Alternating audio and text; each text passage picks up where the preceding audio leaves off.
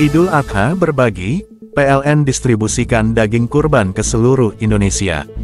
Idul Adha tahun ini, PLN kembali berbagi kebahagiaan dengan masyarakat Indonesia.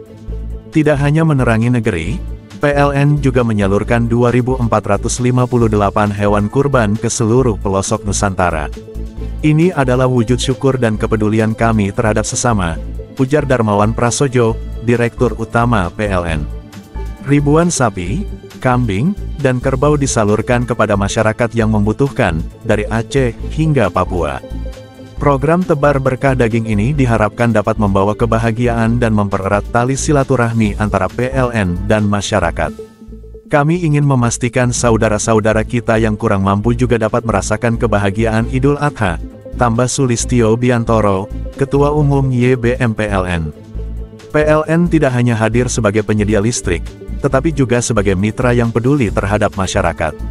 Program ini merupakan salah satu bentuk komitmen PLN untuk terus berbagi dan memberikan manfaat bagi seluruh lapisan masyarakat. Kami akan terus meningkatkan program sosial di berbagai sektor, mulai dari sosial, ekonomi, lingkungan, keagamaan, hingga pendidikan, tutup Darmawan.